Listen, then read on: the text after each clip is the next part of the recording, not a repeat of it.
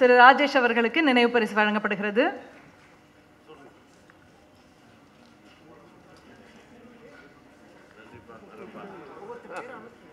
அடுத்ததாக திரு நாசர் அவர்களுக்கு நினைவு பரிசு வழங்குகிறார் நடிகர் சிவகுமார் அவர்கள். திரு பாக்யராஜ் அவர்களுக்கு நினைவு பரிசு வழங்கப்படுகிறது. திரு நக்கிரன் கோபால் அவர்களுக்கு நினைவு பரிசு வழங்குகிறார் நடிகர் சிவகுமார் அவர்கள். இயக்குனர் கோபி நயினார் அவர்களுக்கு நினைவு பரிசு வழங்கப்படுகிறது. கவிஞர் குட்டி ரேவதி அவர்களுக்கு நினைவு பரிசு வழங்கப்படுகிறது. திரு செழியன் அவர்கள் நினைவு பரிசை பெற்றுக்கொள்கிறார்.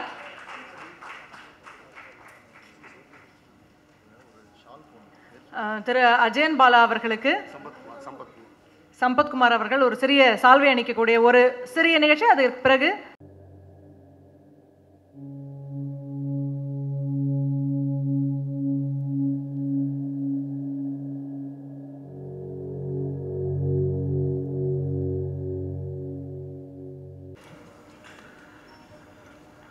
நல்லதொரு நிகழ்வுக்காக கூடியிருக்கும் உங்கள் எல்லோருக்கும் என்னுடைய அன்பும் மரியாதையும். வாழ்த்துக்கள் அஜயன் பாலா அவர்களுக்கு. நன்றி அஜயன் பாலாவுக்கு. ஏனென்றால் இந்த ஒரு அரிய புத்தகத்தை இந்த சமூகத்திற்கு வழங்கியதற்காக அவருக்கு நன்றி தான் சொல்ல வேண்டும் வாழ்த்தை விட.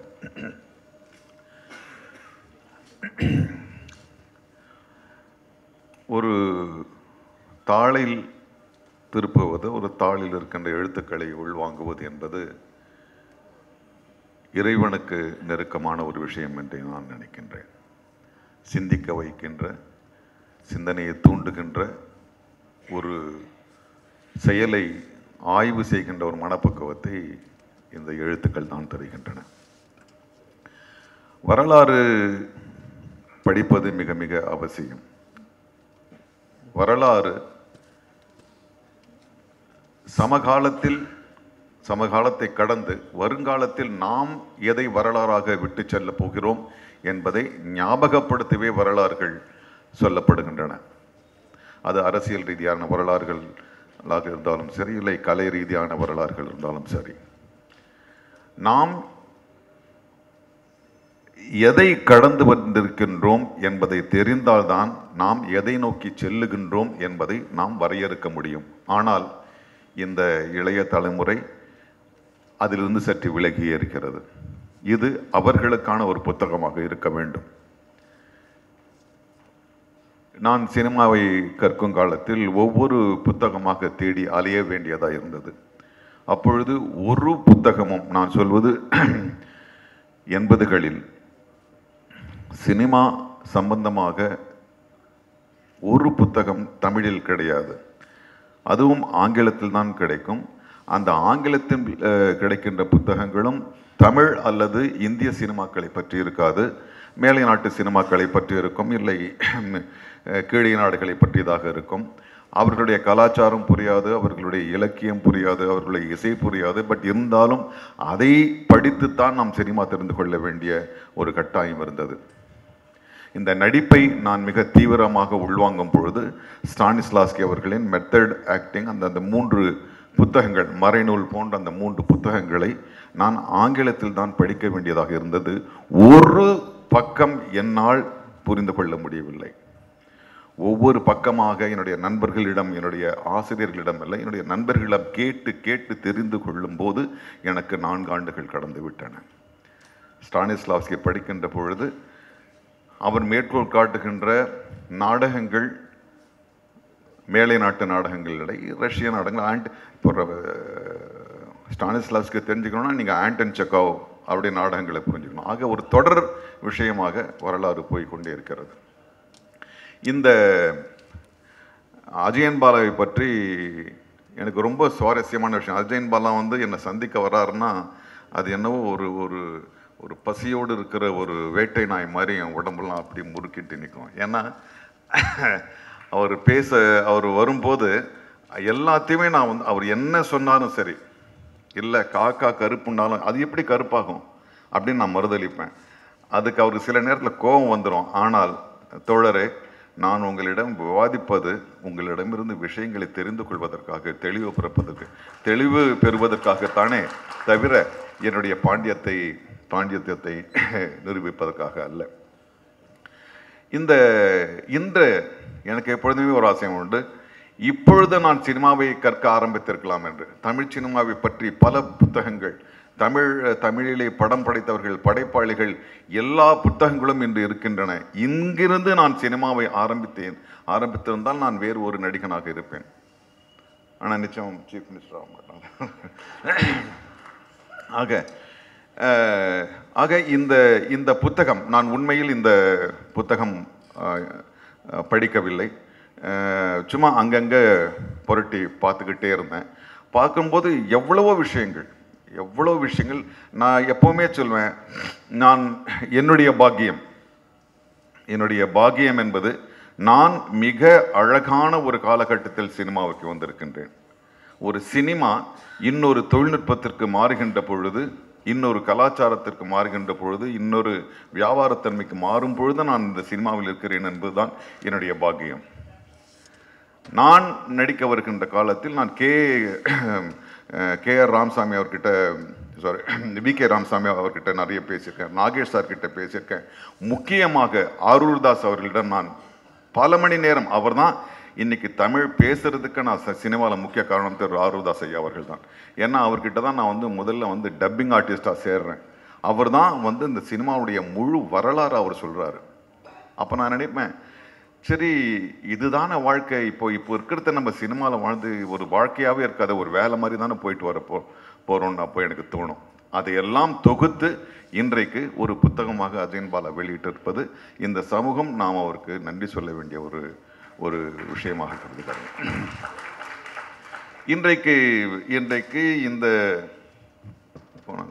இந்த இந்த ஃபோன்லேருந்து எதை தட்டினாலும் சொல்லுது. அணுகுண்டிலிருந்து பாலியல்ல இருந்து பால்ல இருந்து எதை வேணாலும் அதை சொல்லுது. ஆனால் ஒரு புத்தகம் வாங்கி மடியில் வைத்து கொண்டு புரட்டுகின்ற ஒரு சுகம் அதில் கிடைப்பதே இல்லை. என் ப என் பசங்களுக்கும் எனக்கும் வந்து அது பெரும் ஒரு சில ஒரு தமாஷா அந்த விவாதம் ஆரம்பிச்சு கொஞ்சம் சீரியஸாகவே முடியும். நான் சொன்னேன் அப்பப்பா இதில் தானே அதில் என்ன கிடைக்குதோ அதே இன்ஃபர்மேஷன் தானே இருக்குது. உனக்கு இன்ஃபர்மேஷன் தேடுறேன் நீ. நான் எக்ஸ்பீரியன்ஸை தேடுறேன் அதில். Information is not knowledge it's not an experience ஆக எனக்கு ரொம்ப மிக சந்தோஷம். இந்த கட்டத்திலும் இந்த அது அந்த- அந்த அந்த சின்ன அந்த ஃபோனில் வந்து எல்லாம் கிடைக்கும் என்ற காலகட்டத்திலும் அஜயன் பாலா வந்து வரிந்து கொ- நான் என்னை அந்த புக்கு கொண்டு வந்து என் வீட்டுக்கு கொடுக்கும்போது நான் சொன்னேன் அஜயன் பாலா கிட்ட நீ புக்கு கொடுக்குற மாதிரில எனக்கு செருப்பால் அடிக்கிற மாதிரி இருக்குது இதை நான் பண்ணியிருக்கணும். எனக்கு அந்த வசதி இருக்குது எனக்கு இது இருக்குது நான் பண்ணியிருக்கணும் நீ பண்ணுறியே அவ- அவரை மாதிரி ஒரு பெரும் கூட்டமே இருக்குது புத்தகங்கள் போடுறது பட் பட் அதுக்கான காரணங்கள் எனக்கும் உண்டு. ஸோ ஆக இந்த புத்தகங்கள் போடுவது புத்தக திருவிழா வரும்போது ஒரு ஒரு சம தமிழ் குறைந்தபட்சம் இந்த சென்னை சமுதாயமே வந்து அந்த புத்தக விழாவாக காத்துக்கிட்டு இருக்கு. இந்த புத்தகம் படிக்கின்ற இந்த சுகம் இதே அவர் வந்து நெட்டில் போட புரியாது அஜயன்? இல்லையா? சரி ஓட போட போடலாம். அது கூட இதே தானே வரப்போகுது. அப்போ பு- பக்கத்தை புரட்டுகின்ற ஒரு விஷயம். ஆக இன்னும் நிறைய பேசலாம் சினிமாவை பற்றி ஏன்னா அப்புறம் நிறைய நிறைய வந்து இந்த சினிமாவை பற்றி பேசும்போது நடிப்பை பற்றி பேசும்போது எல்லாரும் சொல்கிறது என்னென்னா இது கற்றுக்கிட்டு வர்றதில்ல சினிமா கற்றுக்கிட்டு வர்றதில்ல நடிப்பு கற்றுக்கிட்டு வர்றதில்லைன்னுவாங்க. இ- நான் அதுலேருந்து ரொம்ப முரண்படலை மாறுபடலை. ஏன்னா நான் வந்து சினிமாவோ இல்லை நடிப்போ நான் அங்கே வரும்போது அந்த திறன் எங்கிட்ட இருந்ததே கிடையாது. என்னை நீங்கள் என்னை பாராட்டுவீர்களே ஆனால் அதனுடைய ஒவ்வொரு செயலும் அசைவும் குரலும் நான் புத்தகங்களிலிருந்து எடுத்தவை தான் ஏன்னா இப்படி இப்படி எப்படின்னா இப்படி சொல்லி சொல்லி நம்ம அடுத்த தலைமுறை வந்து படிக்க வேணான்ற ஒரு ஒரு ஒரு முரணான ஒரு செய்தியை கொண்டு வரும். எனக்கு எனக்கு வந்து புத்தகங்கள் இல்லாவிட்டால் ஆசிரியர்கள் இல்லாவிட்டால் நான் என்று நடிகனாக இருக்க மாட்டேன். அதுதான் உண்மை. எனக்கு நான் படிக்கும்போது எனக்கு யூகி சேதுவும் ராஜீவ் மேனனும் சிவகுமார் தான் எனக்கு வந்து நண்பர்களாக இல்லை ஆசிரியர்களாக இருந்தாங்க. ஒரு ஒரு ஒரு முக்கியமான புக்கு சினிமா ஆர்வலர்கள் எல்லாருக்கும் தெரியும். ட்ரூஃபோவும் ஹிட்ச்காக்கும் வந்து சினிமாவை பற்றி பேசுகிறாங்க மிக உன்னதமான படம் மிக உன்னதமான ஒரு புத்தகம். ஹிச்காக் வந்து தெள்ள தெளிவாக குழந்த மாதிரி அவர் செய்த சா கல்யாண் சார் முடிச்சிடுறாங்க கொட்டை விடாதீங்க. ஸோ அந்த அந்த அந்த புத்தகத்தில் வந்து உண்மையாக ஹிச்காக் வந்து தான் செய்த தவறுகளை பற்றியே நிறைய பேசுகிறார் தான் பே நான் தான் செய்த தவறுகளை பற்றி பற்றியே பேசுகிறார். அந்த தவறை எப்படி அஹ், மீண்டேன் என்றதை பேசுகிறார். அதற்காக என்ன தொழில்நுட்பம் நான் வந்து கண்டுபிடிக்க வேண்டியதாக இருந்துச்சு? எப்படி நான் நடிகளை கையாள் கையாளப்பட வேண்டியதாக இருந்துச்சு? அப்படி தான் அதை சொல்கிறார் அதுதான் அதெல்லாம் படித்து தான் என்னால் இன்றைக்கி வந்து சினிமாவை என்னால் புரிஞ்சுக்க முடியுது. ஏதோ ஒன்று செய்ய என்னால் முடியுது. ஆக இந்த இந்த இந்த வரலாறு என்பது நம்முடைய நினைவுகளை திரும்பி பார்த்துக்கொள்வதற்காக இல்லை இந்த இளைய சமுதாயம் பலமான ஒரு படைப்பாளியாக ஆக வேண்டும் என்றால் இந்த வரலாறு படித்தே ஆக வேண்டும். அவர்கள் நாடகத்தன்மையோடு சினிமா எடுத்திருக்கலாம் நாடகத்தன்மையோடு இசையமைத்திருக்கலாம். ஆனால் அவர்கள் வைத்திருந்த ஒரு மரபு ரீதியான ஒரு சடங்கு ரீதியான ஒரு பெ- ஒரு இணைப்பு நமக்கு இன்னைக்கு இல்லை.